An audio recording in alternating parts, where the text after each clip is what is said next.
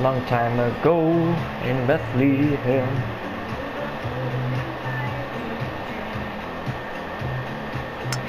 Oh, what is going on, man? Oh!